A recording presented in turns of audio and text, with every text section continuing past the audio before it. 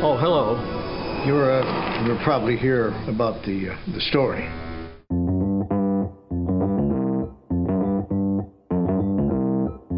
Live from Joe's mom's basement, it's the Stacking Benjamins Show.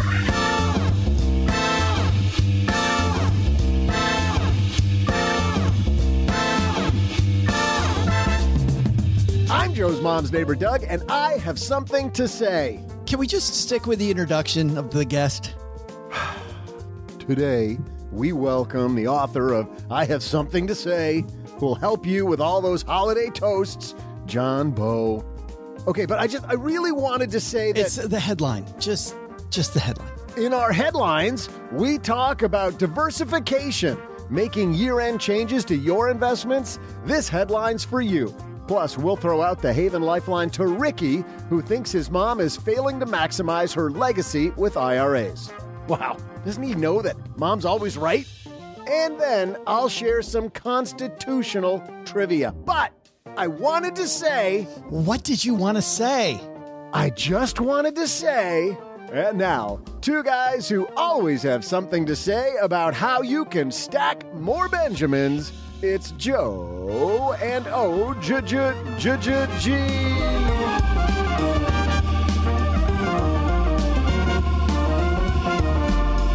Happy Wednesday, stackers. Let me be the first one to welcome you. Grab a cup of your favorite beverage, uh, hit that button on the La-Z-Boy, relax, and get ready to cuddle up with some money fun. Man, we got a great Wednesday on tap, OG. Uh, just another fabulous day, but uh, and who's counting days until my birthday? Maybe this guy. Maybe. who's got two thumbs and is counting days to his own birthday? That guy. John Bowe's going to make us all better at these awkward discussions we seem to have at holiday parties, holiday events. If you're going to be giving a talk, now is the month. And especially if you feel like you're not great at public speaking, which I think is 99.9% of us, John Bowe's here to help us all. Are you the point one? Yeah, I'm the exception that proves the rule. two out of three money podcasters might feel like they need help in this area. The third expresses gross overconfidence. But we got a great headline first, so let's get moving. Hello, darlings.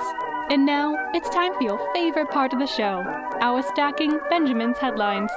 Our headline comes to us from Financial Planning. This is a very thoughtful piece, OG, written by Aaron Brown. I was reading this at breakfast this morning. Listen to this. I think this is great for people that are you know, making year end changes to the portfolio. They're thinking about their investments, maybe starting to roll into their 2023 action plan. Aaron writes this headline Diversifying volatility matters more than the number of stocks.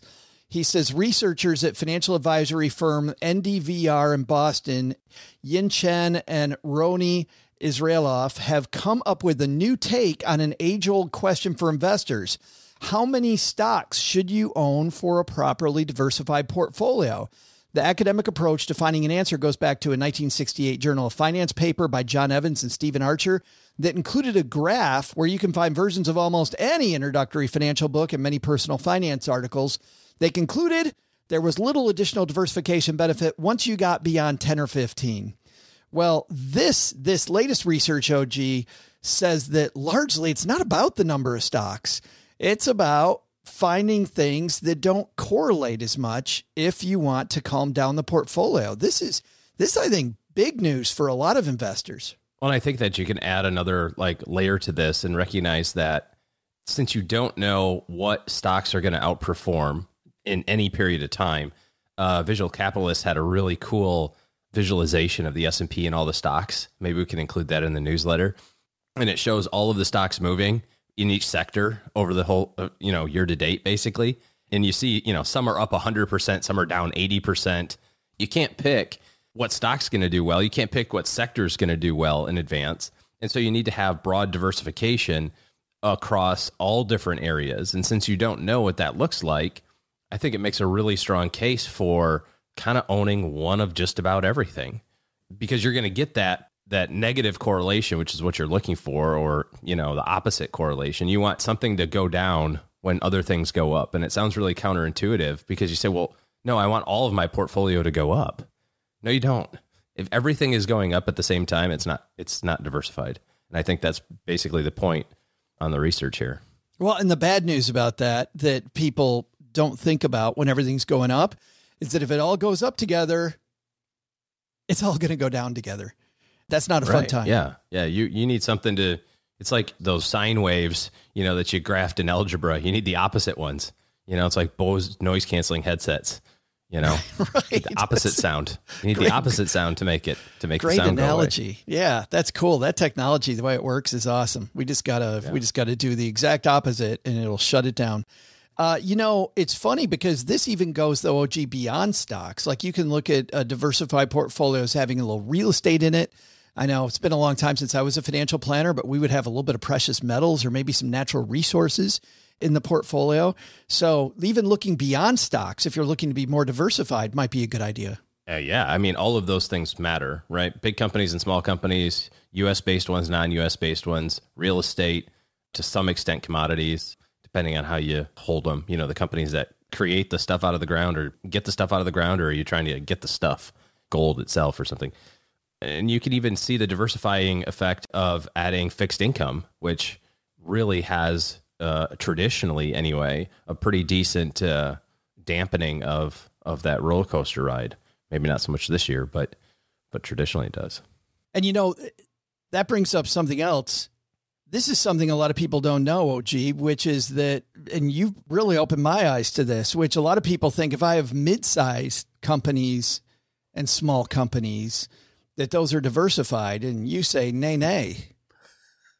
Well, first I would say watch me whip, and then I would say Nay, nay. to watch me nay nay. But yeah, I mean, and and this is kind of an interesting use of data is on correlation because, I mean, you can do this with ETFs, you can do this with uh, stocks, you can do it with all sorts of mutual funds, and you'd be surprised how many times people are like, no, no, no, I'm diversified. I've got Vanguard Total Market, Vanguard Dividend Growth, Vanguard Growth and Income, and Vanguard US Large Cap, and you go, yeah, that's all the same thing. No, it's not. Those are five different ones. I'm diversified.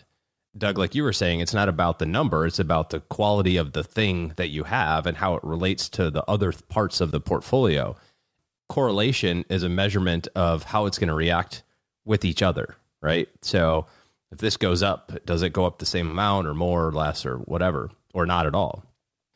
A lot of times people get kind of snookered into that basically. and Say, well, I got five different funds, they're all diversified an eye opening piece of that is, you know, for me many years ago was that mid sized companies and small companies are the same in terms of correlation. There's there's no there's no added benefit to having mid sized companies in your portfolio from a diversification standpoint.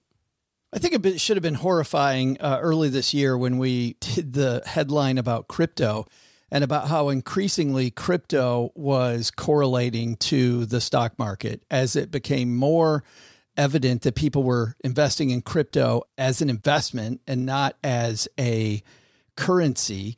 That when the stock market went down, crypto was going down. Now, since then, crypto has decided it would go down more than the stock market has.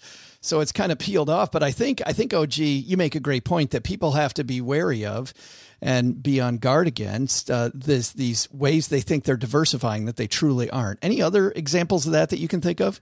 I think there's two two other examples that I hear a lot of. I think one of them is pretty self-explanatory. People say, "Well, I want to be diversified, so I have my money at Fidelity and at TD." Oh yeah, Okay, that's that. That has nothing to do with anything. It's irrelevant. You know, yeah, that's nothing. And the other one that I have a little bit of an issue with is when people say, "I want to be diversified," so I bought a duplex, and and I go, "You bought a duplex, like one single piece of property in these United States?" You know, like that's your diversification strategy is one thing. A diversifying effect of real estate wouldn't be to buy one property; it would be to buy a real estate investment trust, you know, which has lots of properties in it or something like that. I think there's probably some effect on the single family one purchase type of thing, but I haven't dug into it enough. But I suspect that if you're saying, how do I think one investment will do, one particular, you know, house on one street versus, you know, the 500 biggest companies in the United States, I think I would say I don't think it's having the effect that you think it is. that's Well- that's what I would think. Yeah, we're not saying don't buy the duplex. Just if you're after diversification, that's not what you're getting. You're getting concentration, and your portfolio will go inordinately the way that one thing goes versus, you know, an equal size of money that's diversified amongst a bunch of stuff. Right. Exactly. Yeah. That's that's what I'm saying. We will dive more into diversification, a very interesting piece here. We'll have a link to that in the show notes. And OG, as you said, we're going to dive deeper. Brooke Miller, uh, who has worked with some of the richest people in America during her stint as a financial planner. She now writes the majority of our 201, where we do deeper dives. It's our free newsletter, stackingbenjamins.com slash 201. And that comes out the day after the show. Coming up next, John Bowe joins us. John had this experience in his family that he could not fathom, which was the biggest introvert in his life that he knew by far. Person was much more than an introvert. Everybody in the family thought he was introverted to the point that he was very, very, people called him weird. And then he announced one day that he was getting married. And as the least likely person in his family to have a relationship with anybody, how did this relative do that? How did he have this very, very intimate interpersonal relationship? And this led John to talk about communication. And if we're going to be communicating at all, which we do a heck of a lot in December, uh, this is a great story. And he's going to walk us through how to be a better communicator this month, whether it's at the company party, the family event where you're dealing with relatives you don't talk to very much, or you're asked to give a toast or a speech. John Bowe up next. But before that, Doug, I think you've got some trivia for us, man. That's right, Joe. Hey there, stackers. I'm Joe's mom's neighbor, Doug, and I have something else I want to say. Now, come on. You're okay. You're going to get a turn. Let's just do the trivia. Fine. On this day in 1787, the first state ratified the Constitution, joining the United States of America. Wait a minute. Is it joining? If you're like the only one? If you're the first, anyway, this state, also known as the Small Wonder, I know what that's like, accepted the Constitution unanimously with the 30 delegates in their constitutional convention. My question is, which state was it? I'll be right back after I go register this LLC.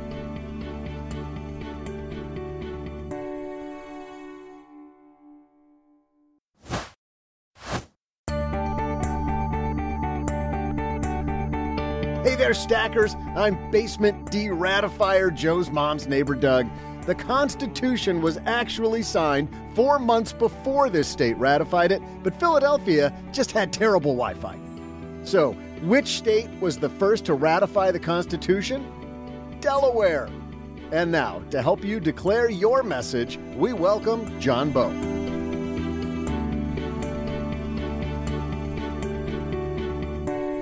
And John Bowe joins us. How are you? I am all right today. It's sunny, and even though the day is about six hours long at this time of year, it's sunny. That's all I care about. I know what's funny is Cheryl, my spouse, and I went on a walk uh, yesterday, a very nice walk. It was a beautiful afternoon in Texarkana. And she said, you know, what's funny is it's, it's maybe five in the afternoon. You could feel the, the end coming to the day already, but we're still not close to the shortest day of the year, John. Still coming. Some friends of mine 20 years ago started celebrating a winter eclipse, winter, sorry, not eclipse, but winter solstice party. Oh, awesome. And I understand why the pagans and everybody way back in the day celebrated that day because it's like you're heading into the gloom and then you pass that day and things are getting better. Even if it's still cold, you at least know this is not getting any worse. Well, and you know what? We are way off topic now, but I do want to say this while we're on this. This is why I think, you know, go ahead and take down your holiday ornamentation, except those outdoor lights. I think those outdoor lights just make these gloomy January, February days so nice. We should start a tradition. I heard that in Scandinavian countries, they kind of do this more. Keep the lights on all winter long. I spent one winter upstate New York all by myself in a big, huge house surrounded by 90 acres. And I went around the bend that winter. And being in New York City with all the lights, it does this fake thing. It tells yeah. Your little lizard brain, like, okay, there's something good happening here. Well, let's tell people there. I think Lizard Brain is a great transition, John, because we're going to holiday parties this year. We're meeting with bosses or influential people we want to meet with, and we may be freaking out a little bit because I may have to say something to somebody, right? Our heart beats faster and our lizard brain goes, "Oh god, no." Let's not go or let's not make an impression, but that's the wrong that's the wrong thing. So I want to I want to start off actually where you start off because you begin in the book. I don't think I've ever started an interview this way, by the way. You start off with a quote from Walt Whitman, and I want you to explain to us why this is where you start the book. You say, I'm larger and better than I thought. I do not think I held so much goodness. Why this Whitman quote to kick off your book? I am so glad you reminded me of that quote because I forgot that I put it in the book. and it really means a lot to me. Okay, when we can't speak well in public, when we're shy or socially anxious or shut down or whatever, no one gets to know you. No one gets to know all the good stuff that you have in you. So my take on public speaking and learning how to do it better is it releases and expresses all the parts of you that would otherwise be tamped down and choked back. I feel like we need this reminder too that just because I can't speak well today doesn't make me a bad person. It just means it's a skill that I don't yet have. Oh, it's I've got a whole thing about this. I mean, we think that it's a mental illness or a product of our character. I'm socially anxious, I'm shy, I'm an introvert, and we have no idea that it's a skill like cooking or being a doctor or flying a plane, you know, that you can learn how to do. It has very little to do with your personality. Well, you have in your family, you have the probably supreme example of this, John.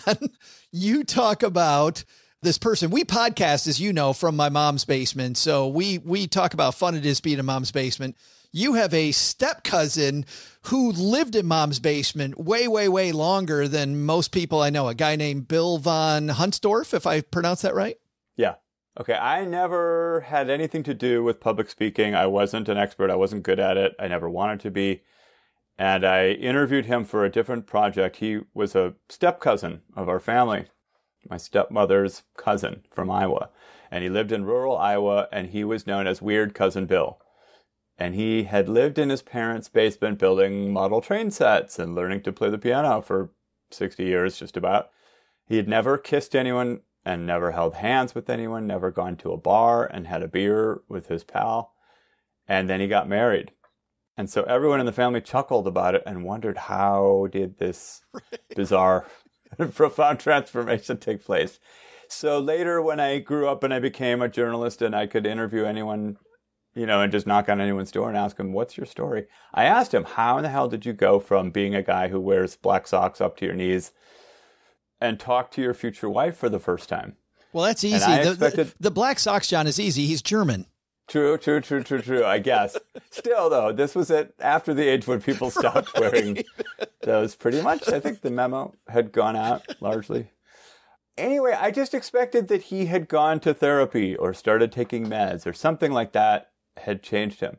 And he surprised me by saying, "I joined Toastmasters, and they taught me how to do public speaking, and it changed my life." We are more connected. I mean, Bill's not alone. And I love that you start with that story, John, because we are more connected than ever before.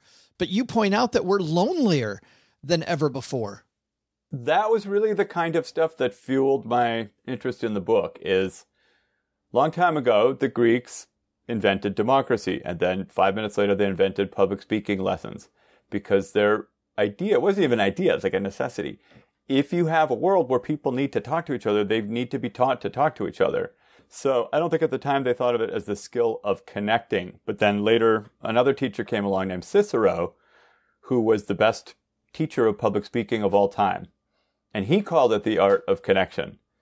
And so they taught this in school. It was the main subject that anybody with a higher education received for years and years of training. Here's how you connect with people. Here's how you argue with people. And then two or three hundred years ago, we decided it was super uncool because it wasn't scientific and we trashed it. And so everything that I teach is reviving this old Greek and Roman teaching. It's super simple. It's not profound, but it's like, how do I connect with people? And that brings up my question, which is that if we're so well connected, why do we feel so lonely? Is it because now we can see people that are actually good at this trait, that they maybe have practiced it or they're somehow naturally gifted, and we compare ourselves to those people. So instead of getting out there mixing it up with people online, which should make it easier than ever, John, to communicate, we just decide not to connect. Is that why? That's a really interesting question, and I guess it gets at the definition of connect, right? You and I can connect here with this amazing technology that lets us connect between New York City and Texarkana. And I have business people I work with in India and Spain and California, all over. But it's really like a thinking thing, right? That's the technology side of it, but there's the thinking thing. So I'm thinking about Joe. What does Joe need? What is Joe focusing on? You know what I mean? Do you need money? Do you need love? Do you need help with your startup? Do you need Yes, help with your all the above. kids? So, so for any interaction with you, I've got to show up thinking about your perspective. Is it morning for you? Is it nighttime? Are you in a hurry? Are you on a diet? Are you, you know what I mean? I just, it's this way of thinking about other people for a little bit before you talk to them so that you align. And I think that if we're not taught a bit about this in school, we don't get to connect with people well and we find social interactions frustrating and we decide that they're not great or I'm not great at it, so therefore I shouldn't do it. And really, it's just this technical skill that we're grasping for but missing. So for Bill, I mean, I'm just trying to put one and one together here for people, John. Bill says he went to Toastmasters, which people think of these community groups where you learn to give speeches. But what he said he really learned wasn't about giving speeches, it was about connecting with people, which I think we see as something separate, right? But but but truly isn't as separate as we think it is. My cousin joined Toastmasters. I should define Toastmasters for anybody who Oh, doesn't Oh, that's good. Yeah. know what they're. It's this global uh, nonprofit group devoted to teaching the art of public speaking. So you join them, it costs almost nothing, and it's just done by your peers. You do these exercises, and people evaluate each other, and you learn pretty quickly and in a very supportive environment how to speak about anything you want to talk about. So, anyway, Bill joined Toastmasters, and the main thing that he learned was how to stop thinking about himself so much and to start thinking about the person or the people he's talking to. And that right there is the key to everything. It's so funny how much these uh, discussions with people like you begin to intersect. We talked to Carmine Gallo uh, recently, who wrote Talk Like Ted, but we interviewed him for a book about Bezos and the way Bezos has learned to write. And John, he said that the problem with people writing is that you start off by trying to tell everybody you're smart. So you use a bunch of big words. Instead, you should start with your person you're writing to and how do they get the message? You're saying it's the same exact thing that Bill went through to start communicating the point that he got married. It's exactly the same thing. I was saying something to my sister about a month ago, and I didn't know that I was saying anything, but I said the biggest single cause of bad public speaking is the desire to seem smart. And if you flip that around to make it easier to understand, you could say the biggest thing that drives bad public speaking is the fear of seeming dumb. So if I began to talk to you today, Joe, by using a bunch of big words or by telling you my life story or by telling you about how smart I am or all of my professional accomplishments instead of just talking about what we're talking about, or if I were an architect, for example, and I'm doing a presentation to try to sell a project and I bring 150 slides of all my great work to show you how great I am, or if I'm a financial person and I show you 18 thousand stats and graphs and da da da da da instead of just talking to you like a person and saying, Joe, this is a great investment because I think these people are psyched and they're brilliant. Let's go. I mean, which one are you going to hear better? Which one is more tailored Yeah. to you? Yeah, obviously number two by far.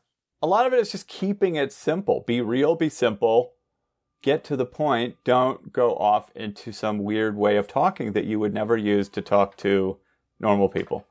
I love this idea though in Toastmasters that there are these basics that get in all of our way, right? And the thing I love about this project, John, is that you you made yourself the guinea pig. You went to Toastmasters meetings. So walk us through for those of us that haven't been there. Uh, walk us through what happened at your first Toastmasters meeting. How does that go? I had to edit my tone and my writing about that first meeting so many times to take away the squirreliness and the just contempt. I had just contempt for myself and for the process and for everybody. I, I was so nervous. I was so anxious and I was You wrote, compensating. you actually wrote in the final draft that I read, you wrote that you said you thought it was really dorky when you first walked in. I mean, not only just dorky, but I just boy, I can't really begin to express how uncomfortable I felt. If you feel uncomfortable at different times when you do public speaking, if you put yourself in a place where the sole focus is public speaking and looking at you and giving you full attention and making you better at it, the amount of social anxiety was just multiplied by a hundred. And so everything they did, I was just, my knee jerk response was to be critical of it, to hate it, to feel like, well, this isn't necessary. This isn't how I would do it. It was just me, me, me, me, me. And I felt miserable until I got a certain ways into it, like the third or fourth speech exercise. Then I finally started to chill out and trust the method. And then I realized, oh, this is brilliant. This is one of the most brilliant things I've ever seen. But you know, you read books like by immersive journalists who go to Antarctica and live for a year and do all these things. I swear to God, this that would have been a vacation compared to this. well, so tell me, so what happens? You walked in the door. What happens? Well, they have you do these things which are pretty prescribed. Like, yeah, if you want to sit in a Toastmasters meeting and say nothing for a year, you can do that. They will let you do that. No one's going to force you to speak. It's very, very gentle and welcoming.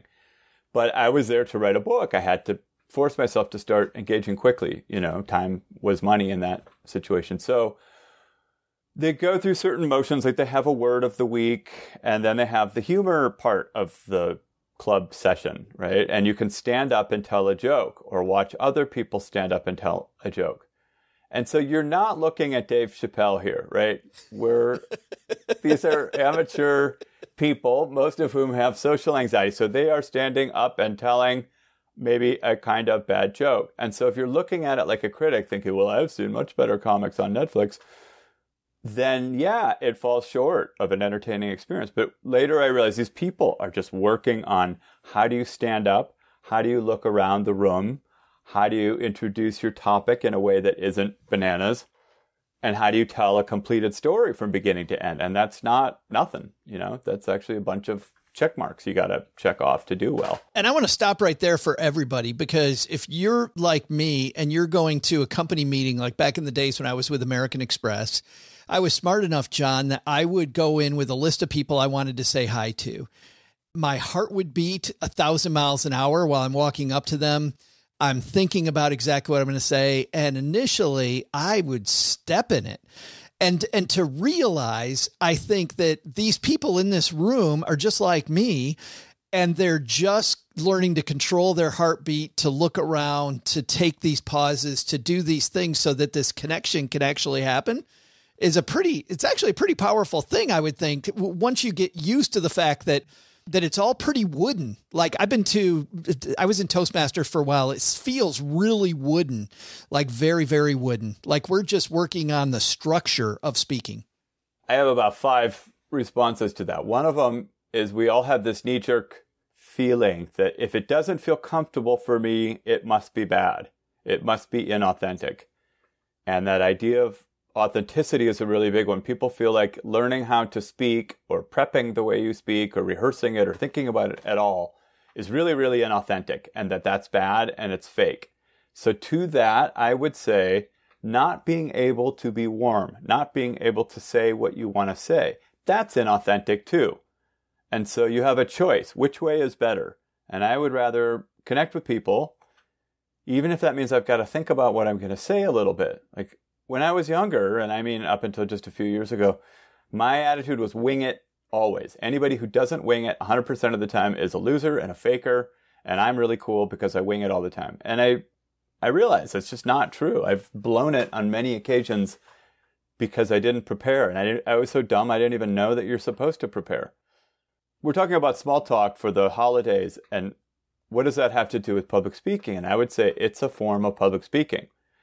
And so you prepare, like the first thing to get into your head is that it's a thing. You can prepare for it. You can think for a few seconds about the person you're going to talk to. And instead of just thinking about yourself and how nervous you are or how uncool you feel this is, or boy, this is wooden, or God, is this forced, or God, is this terrible that we're not going to talk about the deepest things in life right now. I would just say, like, think about the moment, be present be intentional. I'm talking to my Uncle Joe here. I haven't seen him for a while. I heard he lost his wife last year.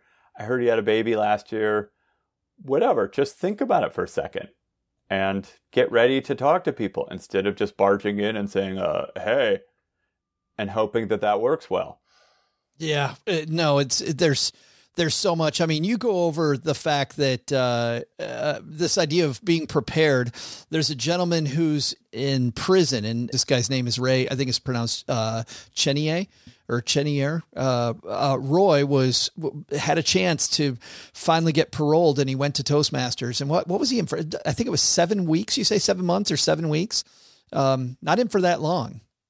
I'll tell this whole story. Roy Chenier was a guy I interviewed who at 17 years old, he had, you know, was raised in a bad neighborhood in Baton Rouge and at 17 got convicted for 99 years for a burglary that he partook in. And uh, after about 20 years, they started giving him parole hearings and he would blow it every time. And when I interviewed him, he was a very charismatic, normal, easygoing guy.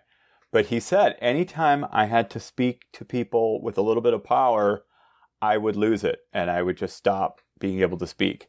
So that's a perfectly baked in situation for bad parole hearings. And now, can you imagine you're talking for your life? Your ability to public speak is the thing that's going to give you your freedom or not. And he would blow it. He'd get up there in front of the judges and they'd ask him these very hard questions like, What is your worth to society? What are you going to do besides crimes? Why should we let you go? And he would just stare at the ground after blowing the first answer and just think, oh, God, I got to get out of here. I can't do this. I can't do this. And they would say, dismissed. You're denied your freedom for another two years. And this went on two years and then two more years and then two more years. And he just kept rotting away in jail until this buddy of his said, dude, you got to join the prison Toastmasters chapter.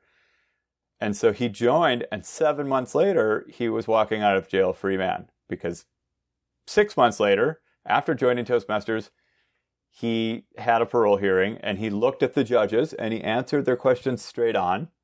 It wasn't like he didn't know the answer before, it's just he didn't know how to deliver the answer. And what's great about that, John, is that once you get used to these basics, it becomes second nature then. And so then you can focus on the connection. It's not as, to your point, prepping isn't as much about uh, being a shyster or being bad it's about being able to focus on the thing that matters, which is the connection with the parole judge, right? He just has to be able to connect with them. And the only way I can do it is if I get these basics out of the way. Can we, with the limited time that we have, I want to give people some tactical stuff that you learned at Toastmasters. And I think there were there were three big basics that people learn almost from day one when they go to Toastmasters. First of all, if you could talk about this, work on the start of your talk and the end of your talk ahead of time. Can you talk about that for a moment? Let me back up because because people really don't know how many technical components go into good public speaking. One really good first thing to do, and maybe this is less appropriate for small talk, but more appropriate for more formal presentations, say yeah. hi. Oh, say yeah. hi. You would not believe how many people start a speech by saying, okay, today I'm going to talk about our Q4 results and da da da da da. And they don't even stop for a moment to say, like, hey, y'all, you know, thanks for giving me your time today. That's all. That's all you need. Or, hey, everybody, I hope you're having a good afternoon. It's actually funny because when I first was on uh, television talking, uh, and I had been through Toastmasters, I'd had PR training. We were talking about uh, Kmart and laying off a bunch of people before they went bankrupt, but they were laying off a bunch of people. It was a very serious topic, John. So I came on, I was very somber. I was on a panel of people, I was very somber. I was very doom and gloom because it's definitely a doom and gloom moment in people's life. You know, the feedback I got from our PR firm that was helping me get better at this, I needed to smile at the beginning. They said, I could be somber later, but the audience wants to like you and appreciate you. And if you smile and you kind of say, even to a TV camera, if you say hi to them and say, Thank you for having me to the host and smile and then get doom and gloom later, you seem much more approachable. Isn't that wild? Like the. I, it's almost I always compare it, and I don't think I do a very good job of this, but I compare it to two different computer networks.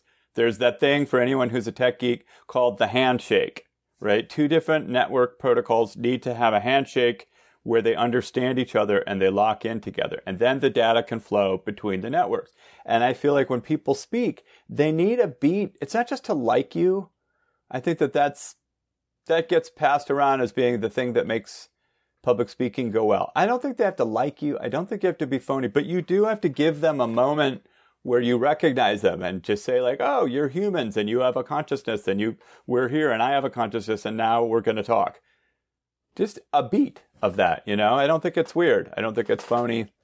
But Anyway, this is the beginning. This is the beginning of the speech. And the other thing I learned, by the way, John, from PR training, is that you can feel your heartbeat at the beginning.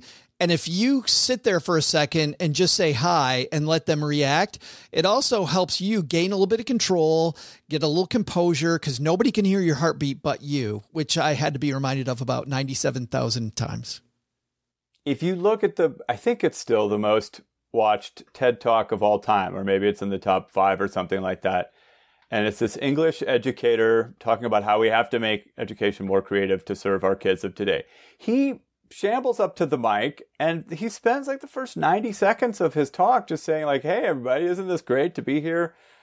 I've just heard so many great TED talkers. We're learning a bunch of interesting stuff. He's not coming on strong and hitting you over the head with his intellectual educational policy. He's just like, hey, and I think that's a really instructive case.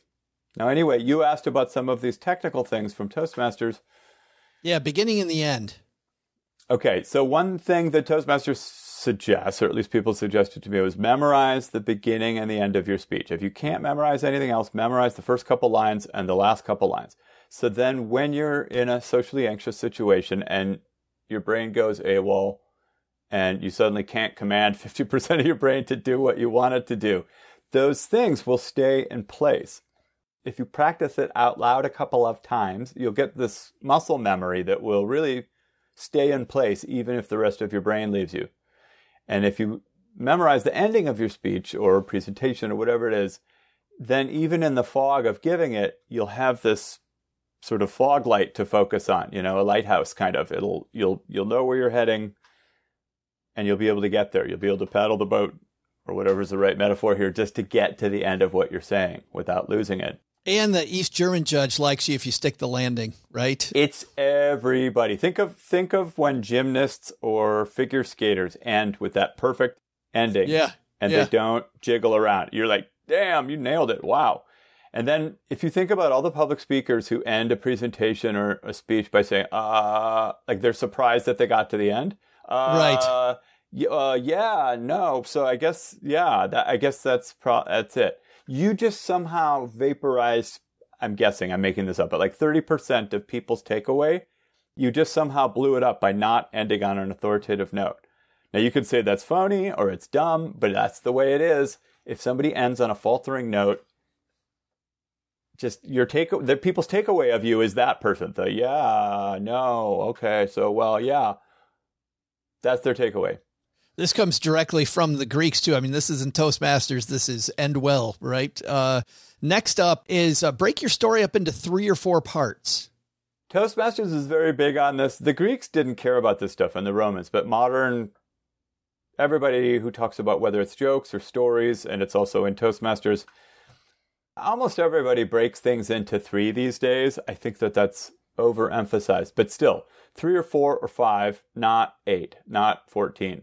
You know, tell people before you're going to speak, and this is more, you know, of a formal presentation than a small talk moment, but just say, Hey, Joe, today I want to talk about public speaking. I'm going to talk about these three different things. First, I'll talk about this, then I'll talk about this, then I'll talk about that. And then as you're going through, you say, okay, now I just finished up my first thing. Now I'm going to talk about my second thing. And then you say the same with the third. And then at the end, you recap. And that sounds really like too much work. And why do you need to be so repetitive? And that's because if you compare it to a book, we all have this visual language for understanding where we are in a book table of contents, section breaks, chapter headings. And with speaking, people need similar, you know, markings to know where they are in the process of your speech. So you're not just babbling at them. And if you give them those little pauses and little indications and kind of a roadmap and let them know where they are in the whole thing, they can listen more easily. I love that. The idea that a speech is a lot like the old five paragraph essay we learned in high school, too. You know, tell them what you're going to tell them, tell them what you're tell them, and then tell them what you told them. Like it's a nice way, to, I think, to think about that beginning, middle, end as well. All of that stuff comes from Cicero the guy I mentioned before, who was the best, most popular teacher of public speaking in history, he wrote a book about 150 AD that was so public speaking and rhetoric was the number one subject in education until the 1700s in the West. And his book on public speaking was the number one book for 15 centuries. So imagine anyone today writing a book that's going to be that central to people's life and education for 15 centuries. He was the one who came up with that composition exercise. It just feels like a hidden skill, John. Like it's right in front of us, this treasure chest that if we can pop the lock on it like Bill did, not only will we get married or we'll get out of jail, like we will just connect so much. And we talk all the time on this show about how a lot of your success is who you surround yourself with. Your ability to do those things is going to be much bigger. I want to bring up the last one here, which is the one that uh, I remember most from Toastmasters, John. Get rid of the crutch words and it's amazing how many crutch words we all have. Oh, think of how many words we say that aren't necessary.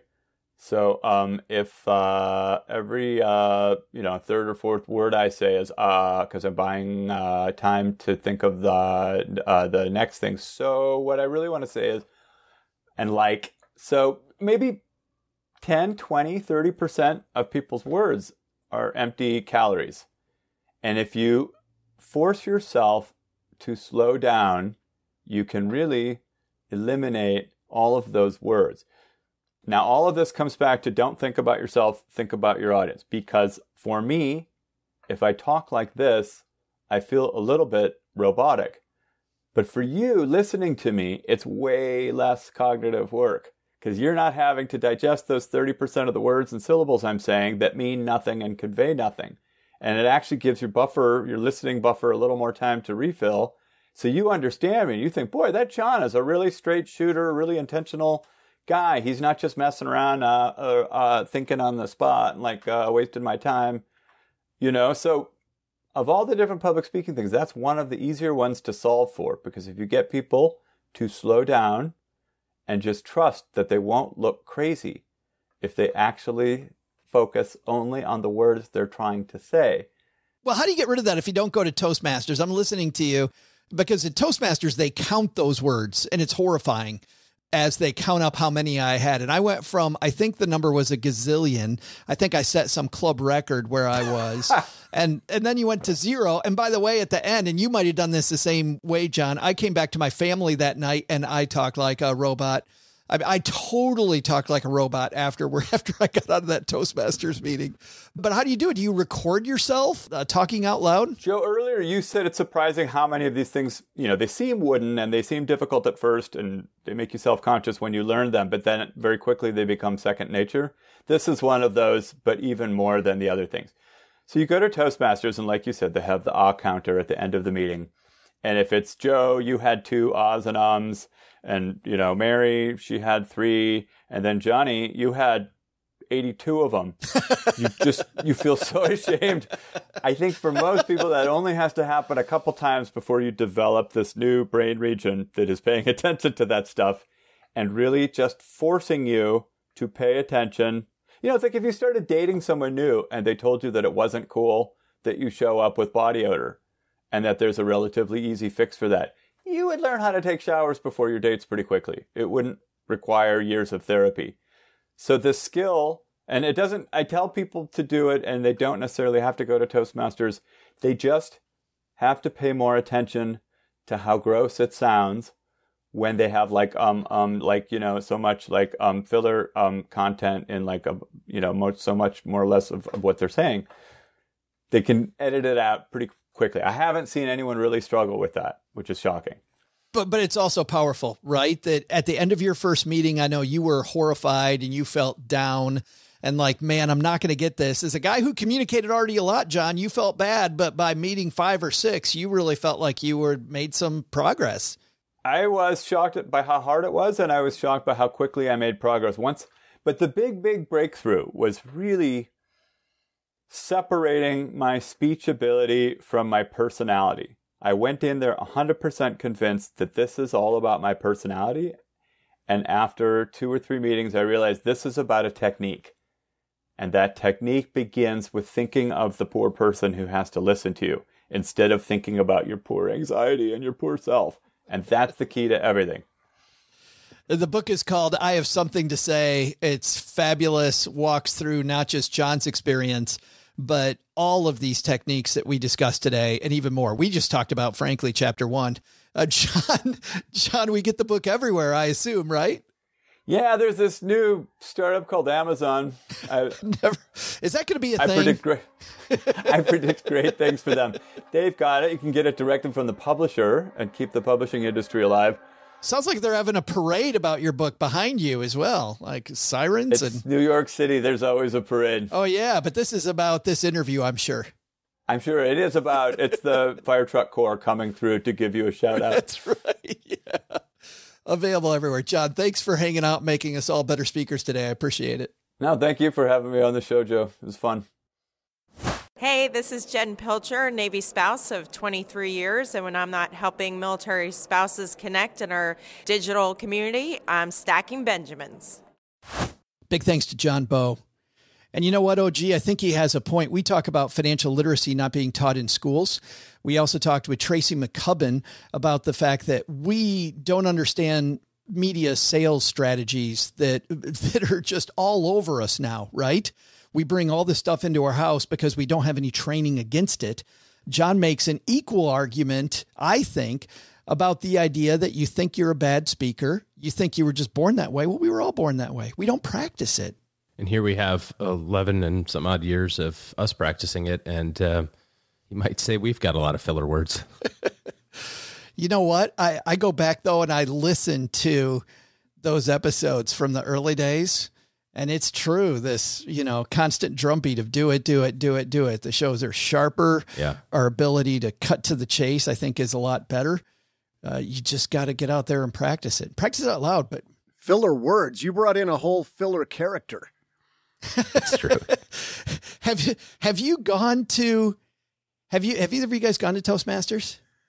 Once. have not. Yeah. Uh, uh, Doug, you know, John was horrified when he went the first time and he was like, oh God, this is not for me. And Yeah. it was just super hard. And like he said in the interview, he thought it was dorky. Did you think the same thing when you went that time? Uh, that well, and I know every chapter is a little different, and so much depends on who the you know.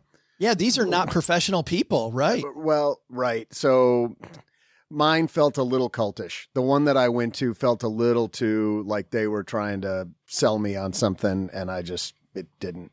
Like eyes wide shut cultish or Right. No, well, they Yeah. they are trained every time they talk. The talk OG is, "Hey, how did you like it? Would you like to join us?" Like, how would you like? Would you like I mean, I mm. felt that too. I was like, "How would you like some of the Kool Aid?" Yeah. Just come grab your Kool Aid. It's right over here. But that is it is part of the learning to look somebody what they're doing though, Doug, which is funny is they are actually training to learn to sell, right? To, to because you're always selling yourself. You're selling a message, you're selling you. And you're right, it creates a creepy ass vibe I had that happen to me too. I don't think we're doing a great job of selling Toastmasters right now. No, but but but I stuck with it like John did, and I will tell you, I get exactly where he he was going, and I am going to go back after this interview. I, I looked up our local chapter in Texarkana, and I'm now doing talks for fees. But I think this practice, this sharpening sharpening the saw a couple times a month, I think is a I think it's a good thing. Hey, let's throw out the Haven Lifeline, guys, and tackle some of life's most important questions. Our friends at Haven Life Insurance Agency, Doug, they put what you value first. But right now, snow tires. Hey, OG, how do you feel about snow tires? I feel like they're not important. Yeah, pretty Yeah, irrelevant. until you guys get walloped. It's like every three years you guys get walloped with some big thing. It's like an ice storm and the whole city shuts down. OG, how do you feel about not having snow tires during that one week every third year? I think I'll make it. we have the snow shovel argument again like two weeks later. I feel Yeah. like we're, we're on repeat. It's your loved ones in your time, guys. That's why they made buying quality term life insurance actually simple. You go to stackingbenjamins.com slash Haven Life now for a free quote. What you'll find when you get there, they have fantastic customer service. They've gotten rid of all those filler questions. John talked about filler words. There's all these questions they either know the answer to or that are irrelevant that aren't going to be part of the decision. Haven Life has taken it, made it a much quicker. It's all online. In most cases, you get an instant coverage decision. The cool thing is, is you're not being insured by some company that just started. You're being insured by Mass Mutual, their parent company, which is a 160 year old insurer. StackingBenjamins.com slash Haven Life. What a great holiday gift that is. Uh, gift to us in this show is we get to throw out the lifeline to Ricky. Say hi, Ricky. Hey, Joe, OG, and Doug. Got a question for you. My mom is 68 and retired with a pension and Social Security that easily covers her living expenses and has no debt. She also has an IRA with nearly $2 million, but wants to leave all of it as inheritance, including her RMDs as gifts. But her IRA has over 50% in bonds, which is killing me. I know this would traditionally work for someone who needs more security with less volatile bond returns in retirement, but if she doesn't need the money and wants to leave as much as possible for inheritance, shouldn't she be invested 100% in S&P 500 index funds to take advantage of the market rebound and keep stacking the Benjamins? Also, any tips for managing her RMDs as gifts, besides giving cash or reinvesting in a brokerage account, would be helpful. Looking forward to the shirt. You think Doug can sign it for me? Well, the bad news is, Ricky, Doug would have to sign the code that uh, we get from Brad because you get to. Hold on. I've got a real fan here. Yes. Can't we make this happen? I've got a raving fan. Oh boy. There has to be a way. Ricky, he will steal your shirt. So we're just going to send you a code. God, your shirt may never show Damn up. Yes. StackingBenjamins.com slash voicemail, by the way, if you've got a question for us as well. And, and Ricky, thanks for a great question. You know, it's funny, OG. I want to pivot back to the beginning of this episode. We talked about diversification, some of the ways people step in it. This is a place where a lot of people step in it. You see people making the mistake that Ricky's mom's making. She's got this portfolio diversified as if she needs it, not really diversified with the end in mind. Yeah. The only thing that I would be concerned about is with pension and Social Security, obviously, Social Security gets a little bit of a uh, cost of living adjustment. There's some chance that that that pension doesn't, and there could be some time in the future where mom might need some of that IRA money to kind of help offset the rising costs, healthcare costs, and so on and so forth later on in life.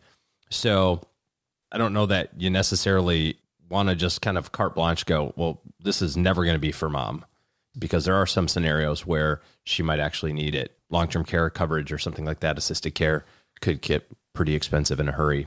So just kind of keep that in the back of your mind. But I think that when it comes to investing it, whether it's for yourself or for kind of the next generation, if that's what she's thinking about, yeah, you gotta you gotta consider the time horizon. You gotta consider the time frame of the purpose of the money. You know, if you need the money in the next five years, it should be really conservative. If you need it in the next twenty years, it should be pretty invested in equities. I know he said shouldn't it all be in the S and P? Eh, I mean, I get what you're saying. Should it be invested in stock versus fixed income? Yes. All S and P probably not. You want to sprinkle in some other, you know, some some other diversification there, like we were talking about. But I would be supportive of that, assuming that we've run some calculations to see what mom's needs might look like.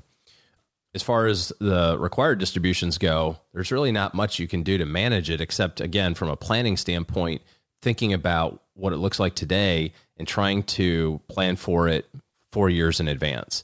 Things like Roth conversions or um, taking distributions now, using some of that money for charitable contributions will help offset those required distributions as well, depending on how mom feels about that. But you have to take the money out. So you can't just say, well, I don't need it, so I'm not going to do it. That's, uh, that's going to be a requirement. It's kind of a double edged sword. You save your whole life, you know, get all this money built up, you do the right thing, and then you turn 70 and go, and the government goes, cool, we need you to take out $70,000 right now. Like, but I don't need $70,000. We don't care. You've, you've, you've, you've gone long enough without paying taxes. It's time to start paying taxes. And every year that number increases to the point where when you're in your 90s, you're taking out almost 12% of the portfolio value every year as RMDs. So it's a really big, important thing to, to start working on in terms of kind of your strategy around that for sure. Yeah, this is more about your uncle wanting to finally get paid than it is about you. It's Yeah. it's time. Knock uncle- on the door. Your Uncle Sam. Yep. Nothing to do with you. I got a question. When you talk about mom's needs, let's say that Ricky and his mom are looking at her financial plan and she has enough over that's that's invested uh, in a way that she gets income. So they truly don't need it. You said what mom's needs are. Do we then look at the individual beneficiaries og and we kind of look at when they would need the money? Like how many years out they are until they need the money and then invest it according to the beneficiaries need? Well sure but i mean if you think if mom's 68 right now i mean you have to assume that she's going to live for another you know 20 or 25 years you know, assuming kind of normal life expectancy and health and that sort of thing. So eh, I don't know if there's a big difference between investing for somebody that has a 20 year time horizon and somebody that has a 40 year time horizon. Yeah. I think okay. it's pretty similar. And the next question I had was around gift giving. Let's say that she has enough where clearly she's going to, she could double her lifestyle and she's still going to have more yep. than enough money. What about the idea of giving gifts when she's alive? Uh, so that she gets to watch her beneficiaries enjoy it now instead of missing out on all this, right? Right. Yeah. So there's lots of estate planning techniques to kind of lower the value of your estate in the present day, right? So you can give a certain amount every year without filing any tax forms. There's amounts that you can do that are above it, and you just have to file a tax form. You don't need to be scared about it. You just need to know what you're getting yourself into and what that looks like. So between distribution planning, RMD planning, the tax stuff, the gifting, this probably isn't a DIY project. You probably want to find an estate planning attorney to kind of help walk you through this to make sure that you're doing it correctly. And I also think, I guess, as I was thinking through that question I asked about gift giving, it also might be still a little early. I mean, so many things can happen with the market. You know, recession may deepen. You might have all of these problems that come up that we can't predict. With a lot of life left, to your point, she's still pretty young. Well, I mean, if, if you look at the average cost, for example, of a long term care stay right now, assisted care, right? You mm. just need some help getting around, or you need help, you know, making sure that the house is taken care of, or, you know, you take your medicine on time, you know, that sort of stuff happens. The average cost right now is somewhere in the neighborhood about $90,000 a year. And that's increasing at about 10% a year annually in terms of that inflationary rate. Wow. And the average person who needs it uh, needs care for two and a half years. So you're looking at some in the neighborhood about 250K in today's dollars. Now inflate that for the next 30 years. And, you know, you don't need assisted care in the middle of your life. You need it at the end. So kind of put that out 30 years from now and say, well, what does that, what does that number look like? And it could easily be six, seven hundred thousand dollars, you know, at that time. That doesn't mean that between over the next 30 years, that $2 million doesn't double twice either. You know what I mean? Like if you're investing this correctly, that $2 million over 30 years should quite easily become eight, you know. But it's something that you want to consider for sure. Thanks for the question, Ricky. Again, if you've got a question like Ricky's or a different question, well, you know what? you probably don't have a question exactly like Ricky's. Now that I even think about that. StackingBenjamins.com slash voicemail gets you there. That's going to do it for today, everybody. Let's uh, pivot over here to the community calendar, what we have going on. Our wonderful team here in Mom's Basement said, and this was at Mom's urging, she said, You know what, guys? You've got all these money nerds. They don't really know what to get other money nerds for the holidays. You always have talked about these things all year long, these things that either money nerds love or things that are worth the money all year long. You've done this. Why don't you compile those? And we went, duh.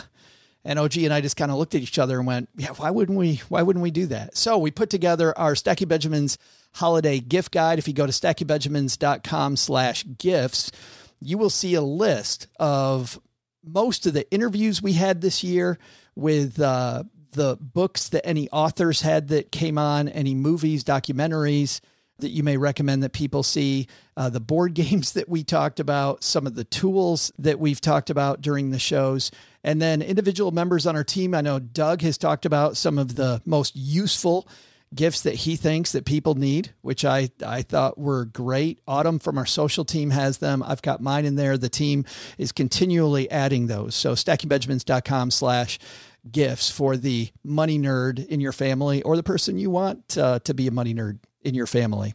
Uh, speaking of guides, though, here's an even better guide if you're concerned about the market or the chatter around a recession on the horizon. Ogina's team have put together a free guide that shares eight moves to make in a down market. It'll help you plan more and panic less no matter what the market does. So head over to stackingbenjamins.com slash guide and get this helpful free guide from OG and his team at stackingbenjamins.com slash guide. All right, that's going to do it for today. I will be on Instagram later today. So if you want to join me at 5 p.m. Eastern, uh, stop by and say hello. We always have a fun chat on Instagram. That's going to do it for today. Doug, I think you got it from here, man. What should we have learned today? Well, Joe, first, take some advice from John Bowe. Want to speak well? Relax, practice the basics, and remember that when in doubt, less is more. Second, if you have an IRA that you're leaving as a legacy, it's best to diversify it based on the needs of the beneficiaries, not your own. But the big lesson? Okay, look, I really have something to declare. You know what, Doug? It's your moment, baby. Let's do this. It's about time. I've been waiting like this entire episode. You wouldn't let me say what I needed to say, and I've been here. Okay, this is my time. Uh, well, and then the no, I forgot. You kidding me? Thanks to John Bowe for joining us today. His book, I Have Something to Say, is available anywhere they shush you for speaking too loudly. We'll also include links in our show notes at stackingbenjamins.com. This show is the property of SB Podcasts, LLC, copyright 2022, and is created by Joe Saul-Sehy. Our producer is Karen Repine. The show is written by the brilliant Paulette Perhach with help from Joe, me, and Doc G from the Earn and Invest podcast. After you listen to our show, check out the 201 Deep Dives written by our website manager and blog editor, Brooke Miller. You'll find the 411 on all things money at the 201. Just go to stackingbenjamins.com slash 201. Once we bottle up all this goodness, we ship it to our engineer, the amazing Steve Stewart. Steve helps the rest of our team sound nearly as good as I do right now. Want to chat with friends about the show later? Mom's friend Gertrude is our social media coordinator and the room mother in our Facebook group called The Basement. So, say hello when you see us posting online. Here's a weird fact both she and Tina Eichenberg are never in the same room at the same time. To join all the basement fun with other stackers, type stackingbenjamins.com slash basement.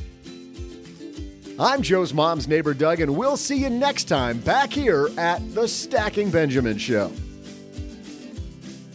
Not only should you not take advice from these dorks, don't take advice from people you don't know. This show is for entertainment purposes only. Before making any financial decisions, speak with a real financial advisor.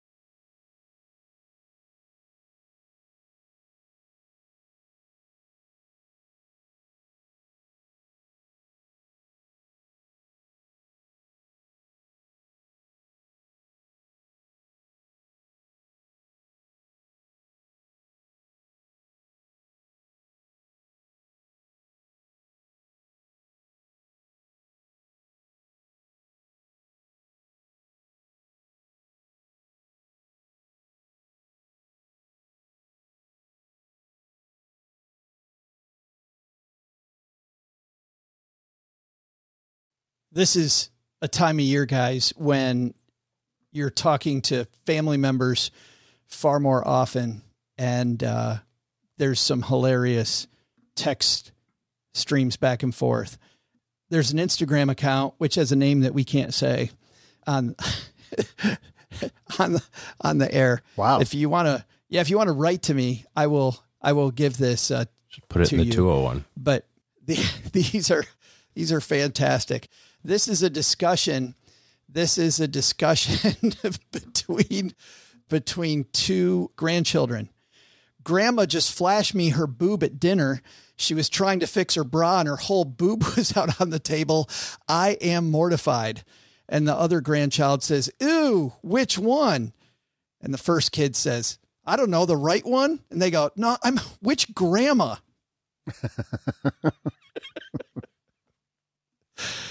This one is horrible. It's between a dad and a daughter. The daughter writes, uh, Today was International Women's Day. Why did she send me nice flowers? Dad says, You're not international, you're domestic. I did send flowers to a random woman in Albania. Mom. Oh, between a mom and a son, the son writes, I was walking down my stairs to take Jax out, the dog. I felt something hit the side of my head and then felt what I thought was a bug. Immediately started hitting myself in the head trying to kill the thing and was in utter panic, flailing around as I tired to get it off of me and murder it. The thing I was trying to kill was was the drawstring from my hoodie. And mom writes in all capitals RWL. And the kid writes real world laughing. And mom writes roaring with laughter, my own acronym. the son goes, Mom, you can't just make up ab- abbreviations. You're not texting Shakespeare. She's like, Yes, I can. You're not the abrev popo. Um, Cheryl does that to me. She's making up like her own abbreviations. I'm like, no, no, no, no, no, no, no, no, no, no. I've got, I've got just one more here. I think this is a good one to end on. This is mom writing to daughter. Mom writes, Why did you tell your dad and I that WAP stood for wings and pizza? It doesn't stand Oh, for boy. that. Very disappointed. We invited our friends out for a WAP night thinking it meant wings and pizza. I bet their friends showed up early. or they're never invited back to the church function.